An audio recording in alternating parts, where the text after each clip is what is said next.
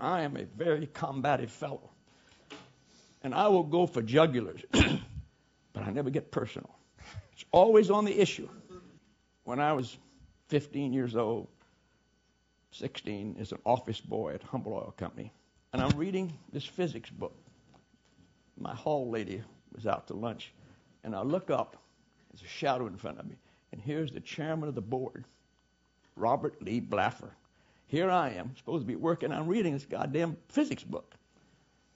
And I thought, I'm fired. He said, What's your name? I said, Jack Valenti, sir.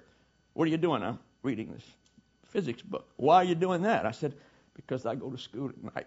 And he said, That's wonderful. We love to see our young people get an education.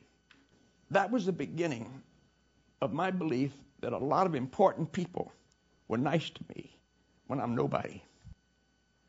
Now, the one thing I did not allow, I drew a line in the conversational sand.